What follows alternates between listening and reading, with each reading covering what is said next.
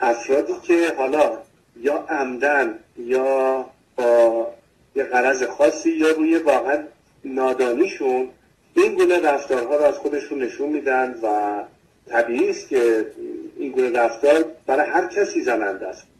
اگر این افراد که خودشون رو به اصطلاح طرفدار نظام پادشاهی معرفی می‌کنن اما بدترین رفتار ممکنه انسانی رو می‌کنن من بعضی وقتا تو شک میدارم که نکنی این افراد واقعا افرادی هستن که عوامل خود این نظام هستن و عملا دارن این این گونه کار می‌کنن. یا واقعا یه بیمارن از نظر عقلی بیمارن. چون هیچ انسان واقعا روشنفکر یا آزاده محال عقل که اینجور برخورد داشته باشن. پس اینا نه آزاده هستن نه فرهنگ دموکراتیک سرشون میشه نه حتی می‌خوام بگم یک رفتار شایسته انسانی دارن پس بنابراین حساب این افراد کاملا جداست و واقعا جای بسی تاسف و شرم هست. ولی مسلم بگوید که این ادعای که به این ادعا میان جلو به هیچ عنوان نماینگر طرز فکر. من که هیچ فکر می‌کنم بسیاری از طرفداران واقعی نظام نیستن. خودشون رو به اون اسم معرفی می‌کنن و با ماست رفتار این افراد رو و حرفایی رو که می‌زنن محکوم بکنیم واقعا نمیشه دیگه بیش از این اجازه داد که این افراد سو استفاده بکنن از این راهی که پیدا کردن برای تبدیل این افکار واقعا واپسگرانه و, و زشت و زننده شون به هیچ طریقی نمیشه توجیه کرد و یا دفاع کرد. آنچه که در عمل باستی بهش بسیار توجه بکنیم. این هستش که متقابلا نظام ساکت نمیشینه. ارتش سایبریش هر روز سعی می‌کنه که جفسازی بکنه همه رو به هم بریزه حمله بکنه خدشه بزنه تخریب بکنه. و بنابراین از این لحاظ باز کاملا هوشیار بود. ممکن هست فکر بکنید که اون گروه خاص یا رهبر خاص مورد سوال با اقدام خودش باعث این تفرقه ها یا به اصطلاح سابوتاژ یا دخالت شده که باعث این اختلاف نظر میشه.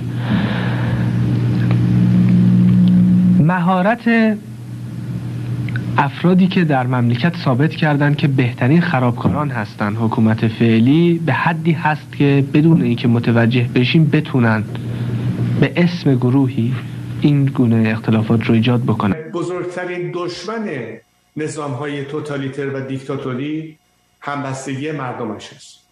و از طرف دیگر می‌تونم بگم که هیچ نیرویی چه خارجی چه داخلی نمی‌تونه جلوگیر یک عزم ملی و همبسته باشه.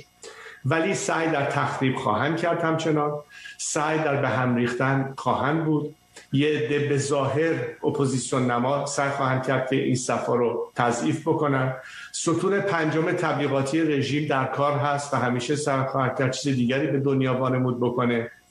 بنابراین اینجاست که این بار مسئولیت از هر زمانی به دوش و به گردن همگی ما در این مجموعه هستش که از این لحاظ غافل نباشیم هوشیار باشیم و من نهایتا تمام اعتمادم رو به اون خرد و به اون عقل و به اون هوش همیهنانم می‌دونم که تجربیات بسیاری کسب کردم و این بار با چشم باز نسبت به آینده خودشون تصمیم گیر هستند و خواهند.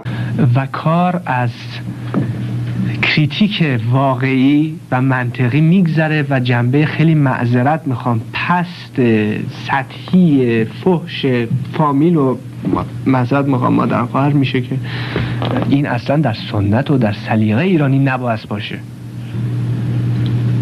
اگه ما به خودمون میگیم متمدن پس چرا یه عده به ما میگن اینا همشون چی هستن؟ وحشی هستن. آیا هستیم؟ نیستیم. اما اعمالی گاهی اوقات از خود نشون میدیم که هیچ آدمی در دنیا ما رو جدی نخواهد گرفت. پس شما این طور صحبت می‌کنید ولی بعضی از طرفدارای شما منتقدین میگن در شبکه اجتماعی به سمت خشونت کلامی در نقد مخالفینشون حتی در اپوزیسیون نه در جمهوری اسلامی میرن. اولا همیشه گفتم بازم تکرار می‌کنم. اگه من بگم که طرفدار یک کسی یا یک جریانی هستم بایستی باورمند به نکات و نظرات و افکار اون فرد یا جریان باشم. بگن یه ادعاست. خب خیلی ها مدعی این هستن که طرفدار هستن ولی کوچکترین شباهتی افکارشون رفتارشون منششون با افکار یا خواسته من نداره. پس جواب اولم به منتقدین هستش که هر کسی که مدعی طرفداری به مفهومی نیست که حرفای من رو باور داره.